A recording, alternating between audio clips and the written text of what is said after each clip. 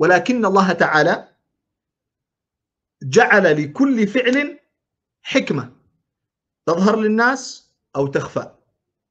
تكون جلية في وقت وتكون خفية في بعض الأوقات.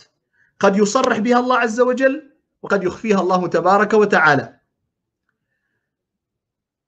يعني هناك مسألة من القضايا في في متعلقة بالإيمان بالله تبارك وتعالى أن يؤمن الإنسان بأن الله تعالى حكيم.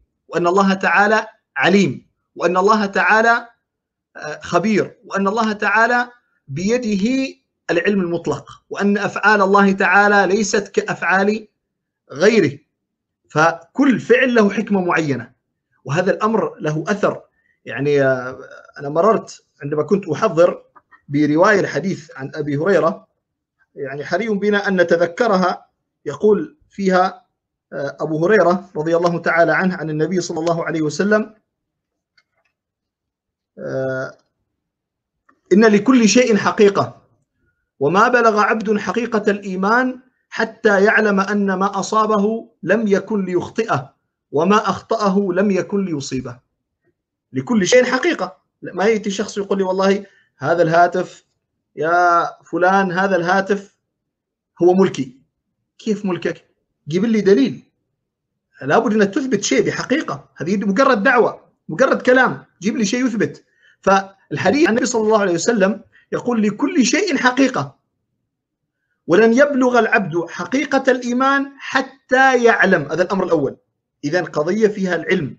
يتعامل المؤمن مع المصائب التي تنزل به لأنه يعلم بأن الله تعالى عليم وأن الله عز وجل حكيم وأن الله عز وجل قدير وأن الله عز وجل بديع إلى آخره. كل هذه الأشياء ينبغي أن تكون حاضرة عند المؤمن. أنا أعطيكم مثال عشان تكون الصورة واضحة. وبصراحة خلوا هذا السؤال حاضر عندكم. فرق لما تتعامل مع شخص يعرف أو يعني تعرف من هو ذلك الشخص على حقيقته أو لا تعرف ذلك الشخص.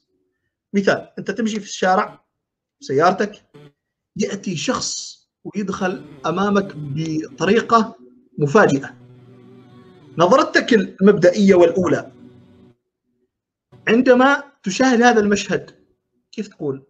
يعني إيش اللي تقوله؟ ماذا تفعل في هذا الأثناء؟ كيف ستكون طريقة تعاملك مع هذا الأمر؟ هذا الشيء تكرهه النفس. سيكون تعاملك وليش هذا؟ ليش يدخل قدامي؟ وليش كذا كذا وإلى آخره. مشيت شوية وتتفاجئ بأن الذي يقود السيارة الأخرى هو صديقك أو خلينا أخوه نقول هو أخوك أو هو أبوك. أراد أن يمزح معك. طبعا أنا ما لا أقر هذا الفعل لكن أقول هل طريقة تعاملك مع هذا الأمر أو هذا الشعور ستكون بنفس الطريقة؟ الجواب لا قطعا يمكن تحمل عتب تحمل عتب عليه وتعاتبه لكن تقول والله فرق بينما شخص يعني لا تعرفه ستتعامل معه بطريقة أخرى. ولله المثل الأعلى. وما قدر الله حق قدره. الذي يعلم بأن الله تعالى حكيم وأن الله عز وجل قدير وأن الله تعالى لا يفعل شيء إلا لحكمة ظهرت لي أو لم تظهر لي يسلم بأن الله تعالى ما ابتلاه بهذا البلاء إلا لحكمة بالغة. لا يعلمها هو قد لا تظهر له وقد يحاول أن يفهم ولكنه لا يفهم. يعني يذكر مثلا قصة تكون الصورة أكثر وضوحا. نحن في بعض الأحيان نقف عند حدود البلاء والابتلاء ونقول والله هذه مصيبة هذا مرض وهذا ابتلاء وهذا لا ينبغي أن نعرف بأن هذا جزء من الابتلاءات والاختبارات التي جعلها الله عز وجل في الحياة.